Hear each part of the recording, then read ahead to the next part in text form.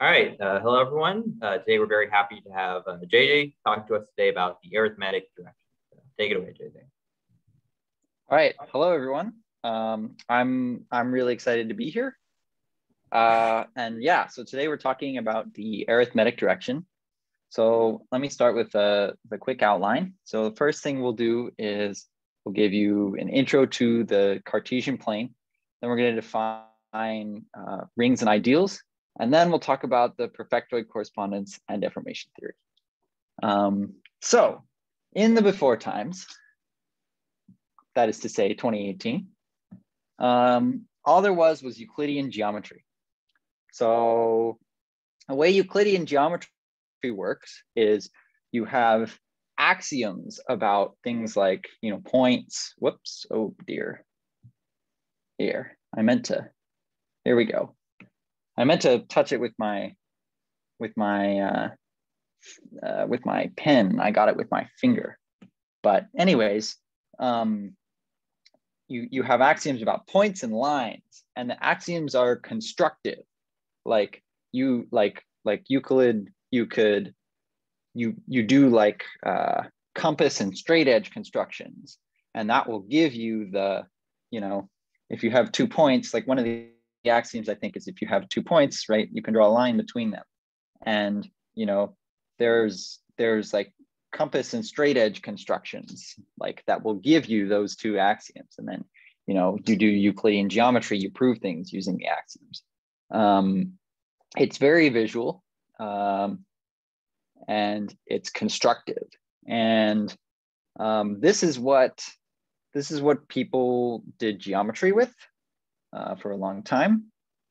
Um, but a, a, long time later, in March of 2020, um, Rene Descartes, uh, a French mathematician, had an idea that would would kind of change the way we do geometry and really, um, really, really have a, a big effect on you know calculus would be uh, discovered slash invented uh, just very quickly after this.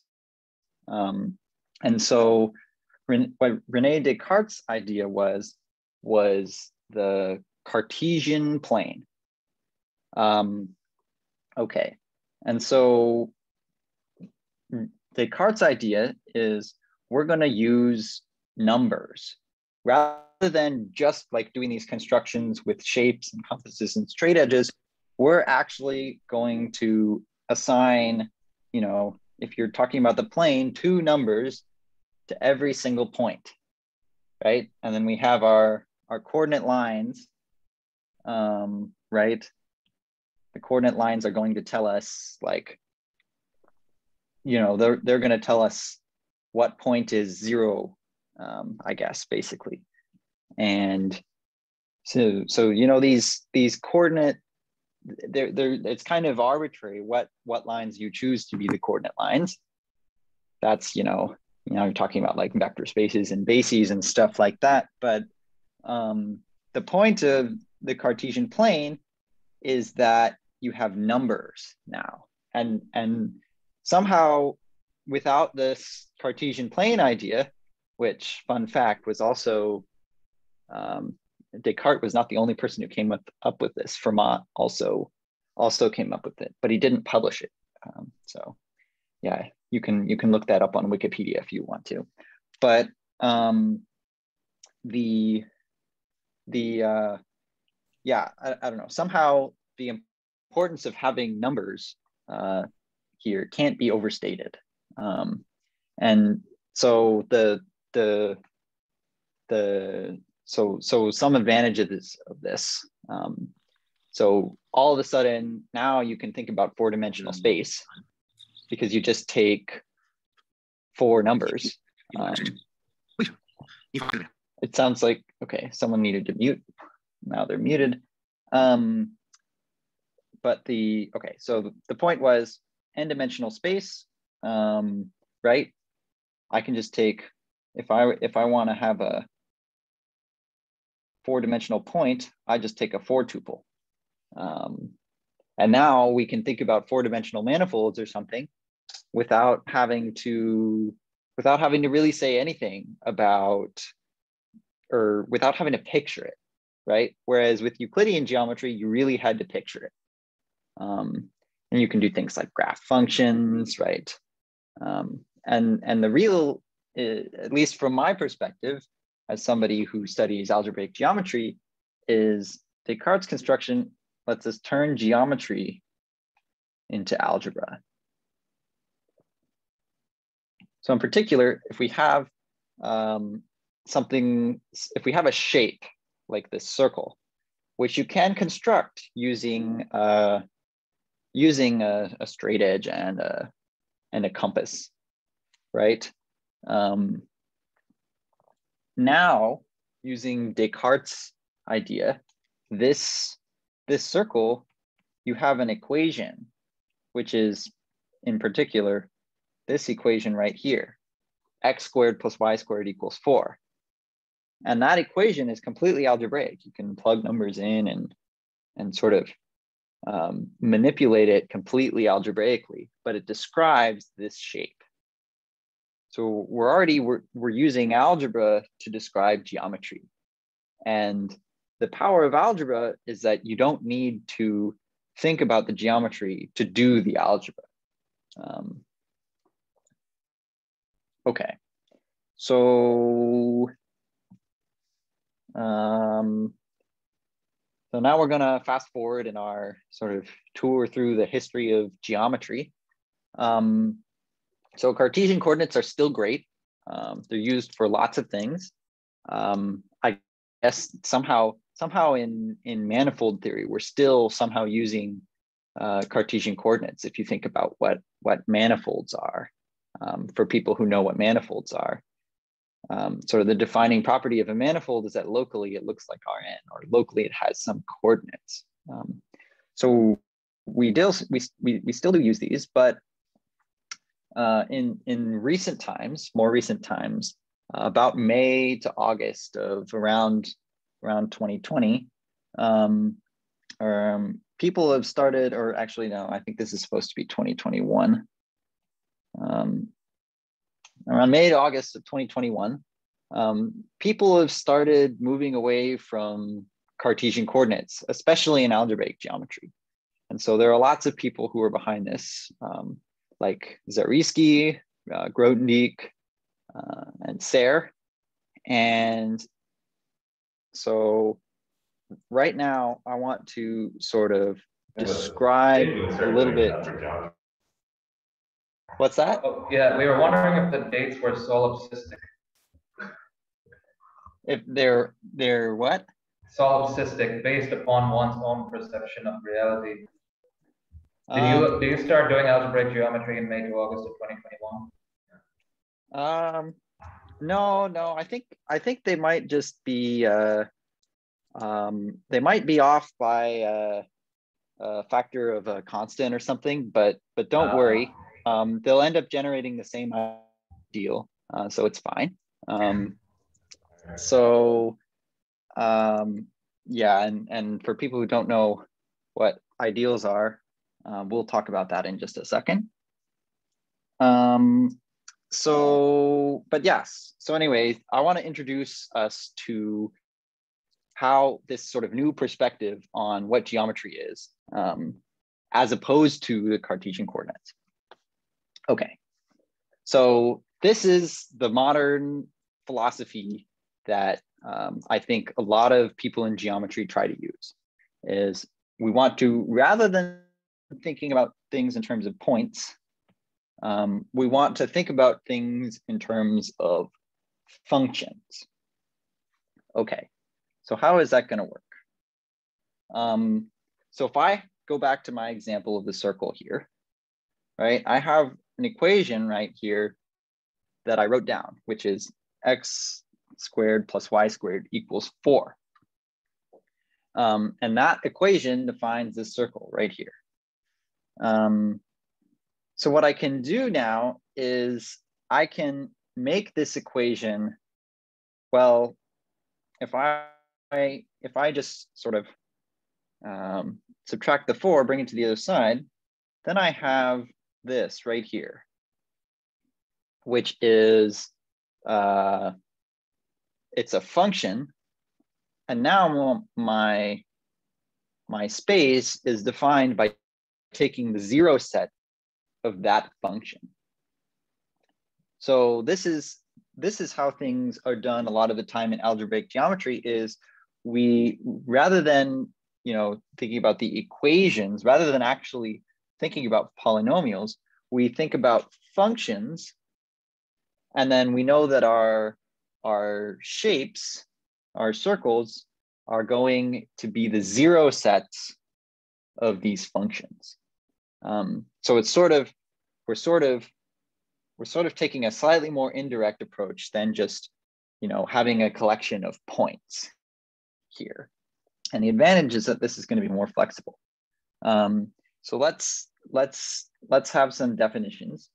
Um, so a shape so a shape is a zero set of uh, some set of functions right um, I guess I could say some set of functions and so for us, uh, because we want to be visual and we want to be able to picture stuff, we're going to think about shapes which are embedded in two-dimensional space. And so the, the comment that I'll make here is that when mathematicians say something is two-dimensional, what they mean is it's locally two-dimensional. It's locally isomorphic to a two-dimensional space.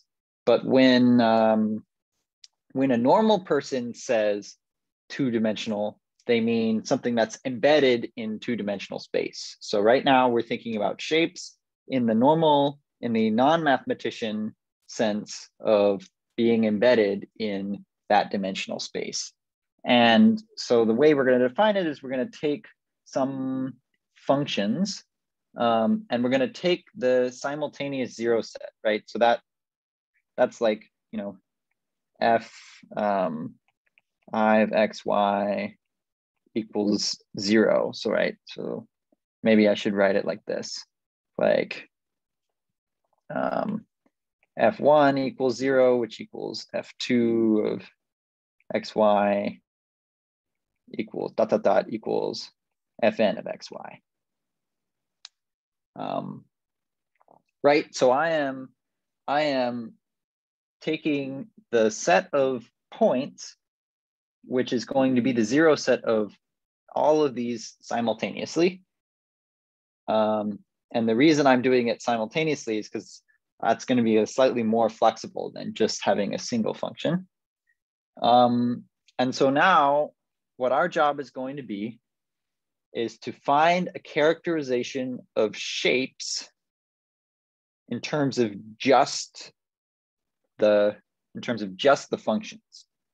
Um, and so right now we're only going to consider polynomial shapes, i.e. all of our functions, all of our f1, f2 up to fn are going to be uh, polynomials.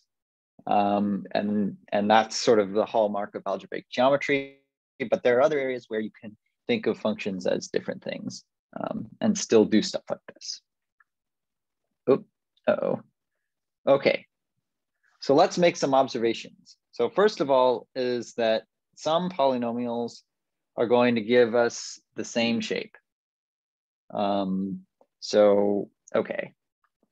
What does that, what, what does that mean? So that means, so if I have, so right now I've drawn a picture of the graph y equals x squared, right? Um, and so if I want to make this into a function, I have to, you know, bring things to one side and then, so but the function that I would use is x squared minus y. Okay, and so now what I'm saying here is if this thing is zero, certainly that's the same thing as if I square it, it's going to be zero because, right, um, x squared equals zero is the same thing as saying, you know, x equals zero ah, my, my equal sign is a little messy, but you get the idea. Um, and I mean, the same will be true for x cubed next to the fourth. So, so we even have an infinite family of, you know, a bunch of different functions that can all define the same shape. So that's the first observation we'll make. Um, so another observation we can make is if we multiply two functions, then we union the, the zero sets. So that's, you know, that's just a consequence of what I sometimes uh, like to refer to as the duh theorem, right? If x uh, times y equals zero, then that means x equals zero or y equals zero, right? Um, and so what that, you know, what that comes out visually is, is right here where, you know, this is x equals zero, the y-axis. This is y equals zero, the x-axis. And when x is equal to zero or y is equal to zero, well, that's just the union. We get the, the uh, infinitely extending plus sign. Okay. Um, another observation. Oh, did my slide change? Oh, there it is. Um, when we add an extra function to the list, uh, then that's taking the intersection. Um, so, right, so let's say I have function x minus three, that's a vertical line like this. The function y minus four is a horizontal line like this. And then the point three, four in my two space is going to be the zero set of both of these functions simultaneously, right? Because if you think about it, y minus four equals zero equals x minus three. Well, that's just the same thing as saying y equals four and x equals three, right? So I'm, the, the arithmetic is quite basic. The geometry is quite pictorial, but I want to phrase everything in terms of functions. Okay. Um, a couple more things. I, there's like, there's like, there's like one or two more visual observations that I want to make. Um, and so the, okay, so the first, well, the next one is um, if we add two things and they vanish somewhere, the sum of them is still going to vanish there. So the the example that I have written out here is the the function x is vanishes on the y-axis or actually oh I did that picture wrong didn't I?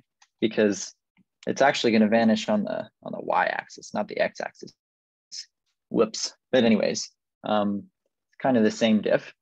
Um and then x squared is going to vanish exactly when x vanishes because that's how squared works. So the vanishing set will be the same. And then when I add them and I factor this, I see that this is x times 1 plus x. So that's going to vanish here where x vanishes. And then when I multiply two things, I union and 1 plus x will vanish right here when x equals minus 1. Um, so the, the sum of them, it's a, it ends up being a union of these two lines right here.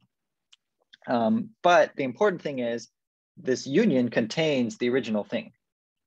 And so that's the point.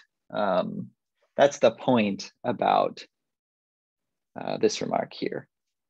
Um, I hope that wasn't too confusing. Um, uh, are there any quick questions? Okay. Um, and then I, yeah, I think this is the last one. Yeah, okay. The If we multiply a function by anything, its vanishing set will only grow. So if we take, oh, what's a good function? Something like um, x squared plus or no, let me let me do an easy one. Um, well, okay, maybe maybe this yeah, yeah, yeah. Let's do an easy one. Just x squared. Um, how do I erase? Here we go. So f of xy equals x squared, right? And the picture is, you know, it vanishes at this y-axis. And then I, I can multiply that by something, by anything, right? Now I want to do x squared times y. Um, and because of the thing I said earlier about unions, when we when we take the union, when we multiply two things, we take the union of their vanishing sets. Um, the vanishing set of x is definitely contained in this union. So this is just a this is just a simple consequence of the union thing. And so this vanishing set, um, this vanishing set will be the the the infinite extending plus again. Okay. So throughout here, um, throughout all of these sort of pictorial things that I've been showing, um, we've made a lot of use of the fact that functions aren't just functions. They're things that we can add and subtract and multiply, particularly add and multiply.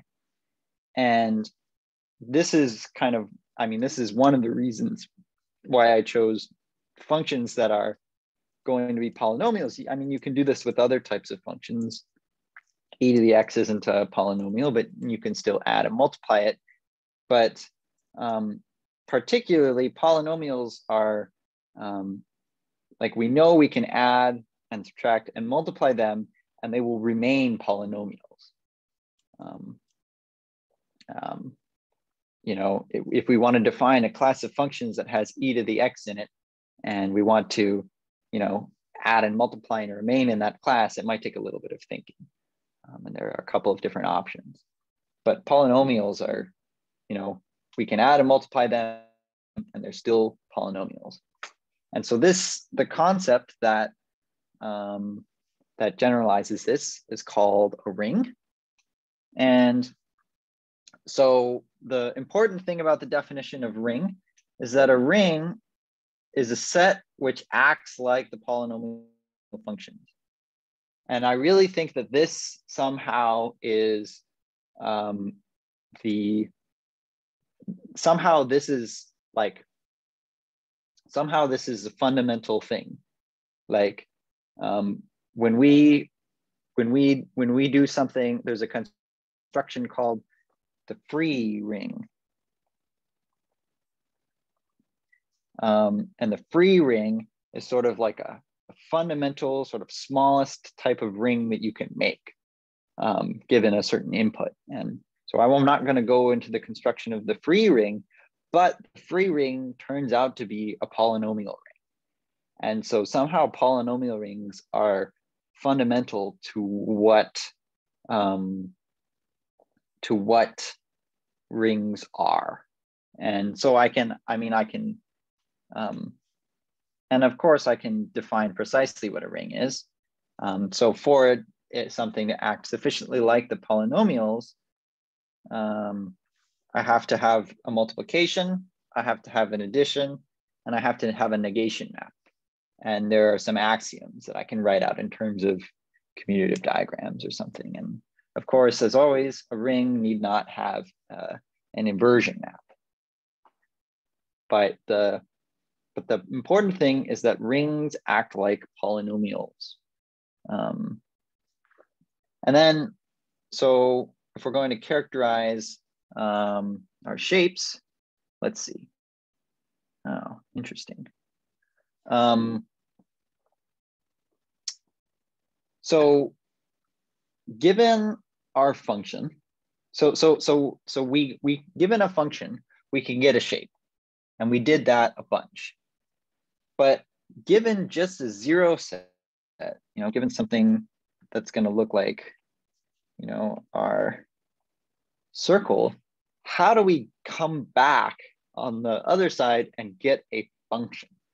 Um, well, first of all, we already know that this isn't unique because uh, we can keep taking powers. Um, and then there are some shapes like, like the point that we described. And it turns out that this, this point, you can't, you can't come up with it by taking the zero set of a single function. You actually have to use multiple functions. And of course, I didn't prove that, but you can prove this. Um, and um, so the way, so, so, so there, if we just want to take a shape and come up with a function, there are some issues. But the idea here is other than these issues that, that sometimes we're going to need more than one function and there's a lack of uniqueness um, with with respect to like having powers um, that's those are kind of the only problems that we have to deal with. And once we can do that we can kind of recover the shape from just the function and it's going to be functions plural. Um, and so the trick that we'll use is just to consider all of the possible functions which do vanish on the set and so you know, if we consider all possible functions, if, if we have two things that vanish on the set, um, this, we have this, we add them and, um, right, when we add them, it can only increase the, it can only increase the zero set. And also, if I have something that vanishes on the set and, you know, something else, um, I multiply them together. And again, multiplying, taking the union can only increase the zero set. So adding and multiplying um, are sort of somehow closed uh, in here. And so this, this leads us to the concept of an ideal. And so again, an ideal, and I think this is, this is again, from this perspective, this is the somewhat fundamental thing. Um, an ideal is a set which acts like it's the set of functions which vanish on a shape on a on a shape. So ideals, really, I want to think of these as and and so if you're if you're in the business, um, um, yeah, shape. Well, shape would be called something different, but fundamentally, ideals correspond to um, shapes. And again, I can be precise about this. So it's got to be a subset of, of a ring. So you have to have some sort of ambient space. Um, so in this case, the ambient space was, you know, you know, the ambient space was, uh, I guess, R2. Um, so, and then the ring, and then the ring was, you know, the two variable polynomials on R, uh, which is notated like this, R bracket XY. Um, so that would be R. And then it's got to be closed under addition, and then it's closed under multiplication by anything. Um, but again, like I said for ring, a ring really it's something that acts like it's all the functions on a space. And ideal is something which acts like it's the functions on a subspace. Okay. Um, and then there's a theorem um, from a little bit before, you know, Grothendieck, and Zariski, and all of them, but uh, it's by Hilbert. Um, and so what this theorem says um, is up to taking powers, um, the ideal of a shape completely determines it. So meaning like um, I can, you know, I can, you know, maybe square some functions. You know, I can square all of the functions in the ideal, and it won't. It might not be the same ideal, um, but this is the only thing that can go wrong. Um, I consider all the possible functions that vanish, and up to just taking powers, this completely determines what the shape is. So this theorem um, has a, a quite fun name. It's the null uh, Stellan Satz. Now I think that this is supposed to be an A, but it might be an E. Um, that's a fun one to look up if you want to Google it. Um, and, and this is kind of one of the foundations of algebraic geometry, right? This is one of the things that um, it really a lot of other stuff is based on. Okay, and then so the last thing that I want to say is there's this um, there's this sort of uh, there's this sort of trick that you to um, to get uh, what's what's the word? So, given my say two-dimensional space, I had my ring, which was all of the functions on that space, and an ideal corresponds to a subspace. But then, what if I wanted so so that that subspace, right? Maybe it's the circle. So now the, the, the idea is what if I want to um, consider the, um, what if I want to consider all of the functions just on the subspace and consider that to be my ambient space?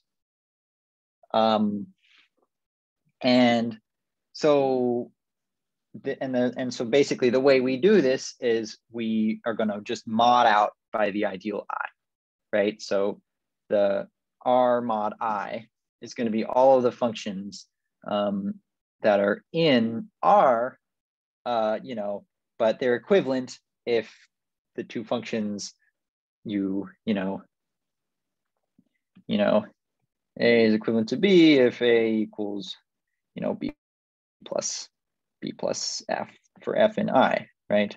A standard sort of equivalence relation, and then the quotient um, will also be a ring, and that will be the ring of all functions on S, the, the subspace, right? So if S is our, our subspace shape. Okay.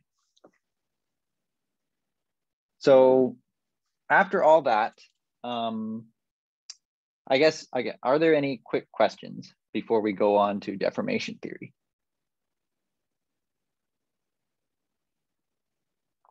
Okay, so after all of that sort of um, like talk about like what are shapes, now let's let's talk about a geometric operation on shapes, which is deformation. So I think when I think of deformation, what I think of is um, I think of, you know, I have my shape and I'm going to like poke it a little bit and, you know, maybe I don't know.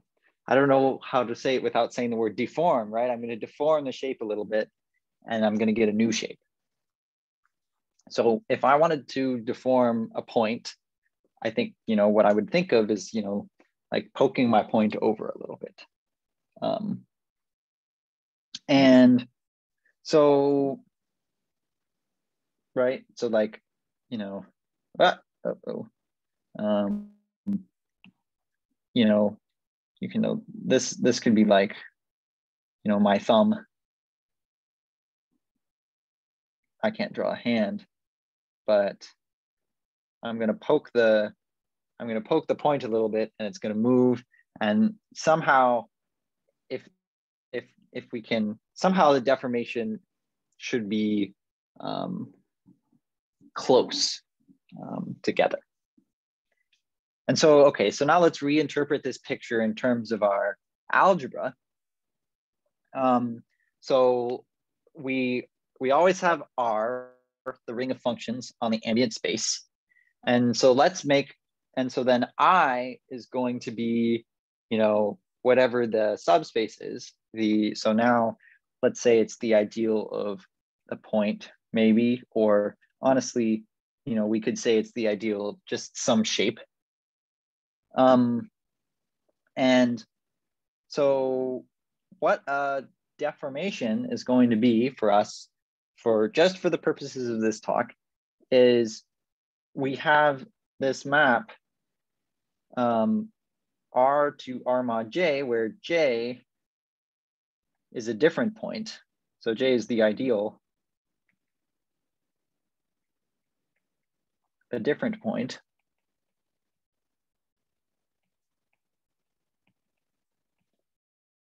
And so, and so then we have, so we have these two functions um, right here. So we have the ambient space, which is like the sort of deformation space. So that's the space where the deforming is happening. And then we want to look at, um, somehow we want to look at um, the, the, um, the two sort of um, points as being deformed somehow in the deformation space um, um, to, so this point is being deformed in the deformation space to the other one. Um, and so a quick note, if you've seen deformation theory before, um, you'll you'll you'll know that I'm fudging things a little bit and I'm hiding. Normally there's another map here that I'm assuming is the identity um, because I want to, because I, I don't want to well, I don't need to have it not be the identity because I'm just sort of doing this little point. Um, uh, I'm just deforming one point into another point.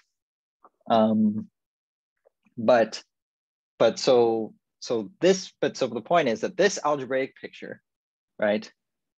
Um, this, this picture of the deformation, based on the stuff we just talked about, looks like, I guess, this in the algebraic picture. Um, that's what a deformation is. Yeah, I'm not perhaps a little. Like in this definition, like where is I showing up? Like why, where, if that makes sense. Yeah. Like, so it's it's it it feels like it's not right, and so this is the thing about the deformation is that the fact that I is showing up in this deformation is the fact that there exists this map right here from R to R mod I. And so this becomes more non-trivial when um, when when my map here is not zero, because normally this will will what we like to what we like to do is we like to say everyone everyone always draws this picture where we have you know some parameter that we're deforming by and then at each step you know there's some shape which for some reason is always drawn as a torus, right? And the idea is that the whole space um, is R, and then um, R mod I sort of exists as one of these um, one of these uh, tori and then R mod J would be one of the other tori. Um, and so the interest in this is like a lot of times in algebraic geometry, you know, most of these, most of these guys are isomorphic, but there's like a one maybe or um, a, a quote unquote small set, a set of measure zero, if you will, um, of, of guys on this parameter where the thing is different. Um, and those different ones are somehow of interest. Um, does that help answer the question? Somewhat. I'm still confused. Like even in this example, like so okay, like I is like one of the things, J is another thing. But like where's the connection? Like where do you encode like this line that that they're they're traveling along? And I, I know yeah. it's not exactly so it's it's it's the the encoding of the line is just the fact that they're both inside R. They're they're both inside the plane. Mm-hmm. Okay. And and so it's a little it's a little weird because um, it's a little weird because there isn't actually kind of a line in the definition. Um, and you know somehow somehow this is somehow drawing like some sort of path here um, would be quite hard in terms of um, um, in, in terms of of this language as opposed to say some other type of framework which uses more epsilons than than than algebraic geometry would. So if I go on, maybe this will help. So um, how, also, there's a question from Abik, which may be the same question, which is, um, is there any, yeah, so this is, this, yeah, so, so, so the, the answer is there is some, I think there is some condition. It's satisfied in this case um, because I chose some parameter to be the identity um, and I don't want to think about what it is. Um, and so, you know, how do we, so, so, so, so I think part of what you both are asking is like, what is this, what this condition is here is like, how do we tell if these points are close, right? That would be another way of phrasing, I think, Sam's, Sam's question. And so again, the answer I'm giving is bald nope. Um, so in my example, any of the points could be considered a deformation, even if it looks like it's very far away. And um, this is this is an artifact of the fact that in algebraic geometry, um, open balls or open neighborhoods uh, can be quite big um, in sort of the real life way of, of how you would think about it.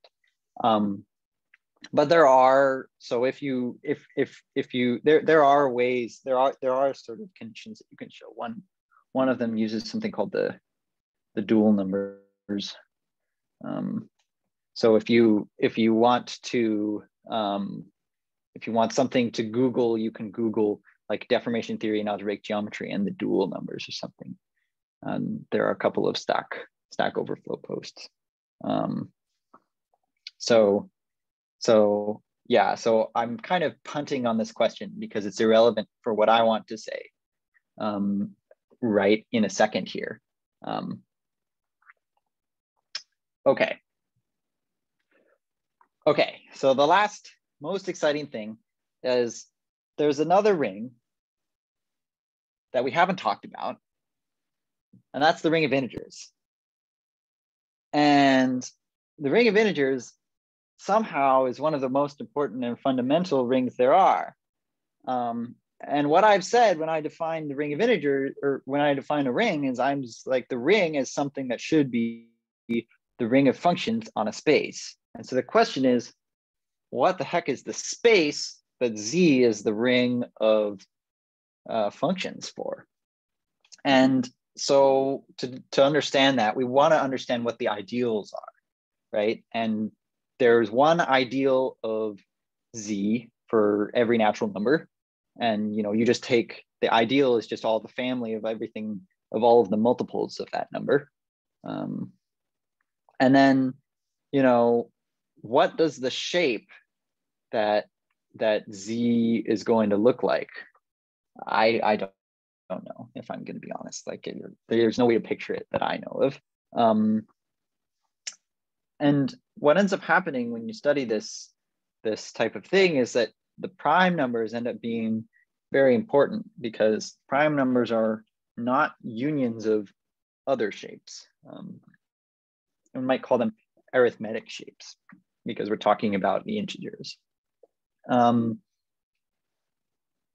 and so the thing is, thinking about primes as subspaces or thinking about numbers as subspaces in, instead of as um, instead of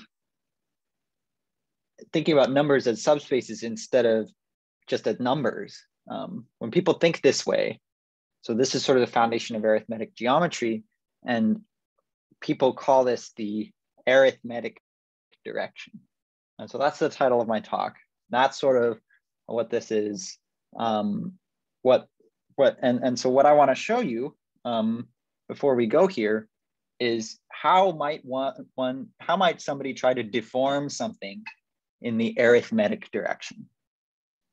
Okay, so just last week, um, due to work of many, including um, Kedlaya Liu, uh, and uh, others before them who did special cases, um, geometers now have a powerful tool, uh, which is a recipe for deforming a prime number p in the arithmetic direction. Um, and so the setting that this works in, I'm going to sort of throw under the rug. It works for rings that have quote unquote enough p-th roots in the ring. Um, such rings are called perfectoid rings. And the recipe is called the perfectoid correspondence. So here's a picture of it. What it's actually going to be is it's going to look like, um, um, it's going to look just like our picture of the deformation of two points. We have R going to R mod I and to R mod J. And here we have the point that we started with, and here we have the different point. And so um, now I have some, you know, fancy notation here that some people uh, in the audience may recognize. So I have a ring here. So I have my ambient space um, right here, which is called W of A flat. And if you don't know what W of A flat is, um, great. That's good. It doesn't matter. This is just the ambient space. Um, and when you when you quotient by uh, the ideal of P, um, that is going to end up being uh, um, A flat. So, and then, so there's a standard recipe for obtaining uh, W of A flat from A flat. And so A flat is a ring in characteristic P. You know, we quotient it. Um, P is going to equal zero in this ring. And so A flat is going to be a ring of characteristic P. And then what's going to happen, and, and so the deformation, what the deformation looks like, what the recipe, what this advance was, um, Kedlaya, Yu, and Scholze do is, is they're going to quotient um, this ambient space by something else, some other element D. Uh, D is for distinguished, which is a name that doesn't describe anything about what D is, probably because uh, it's kind of, we kind of don't even really know exactly what a way to sort of picture this. Um, but the point is we're quotienting out by some different ideal and then we get some other ring over here that's characteristic equal to zero.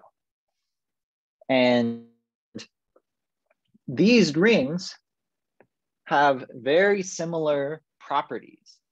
And they there's a, you know, there's some, you know, there's some more machinery that you can do to tell that these rings have the same have have the similar properties and that um, they they uh, right um, what, what was i going to say? They have similar properties and sort of geometrically they're they're kind of the same. Right? Um, and so what people do in in what what people will try and do is they'll use their understanding of this ring to study these rings. So they'll use their understanding of these rings uh, to study this ring. And this, this correspondence, that's the perfectoid correspondence. Um, okay. Um, so I guess it's 53. Am I out of time? ish. If you want to go a little longer, I mean, we won't hold anyone. I, I mean, I this is this is where I was going to end. So yeah, um, then I guess this is a good place to end. Then, um, yeah. So let's all uh, unmute ourselves and uh, thank, or however you want to thank uh, Jay.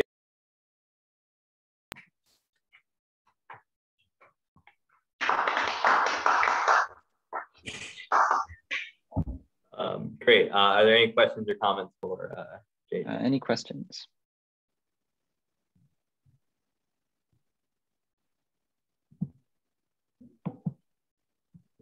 Um, all right, if there's uh, no further questions, uh, let's thank JJ once more.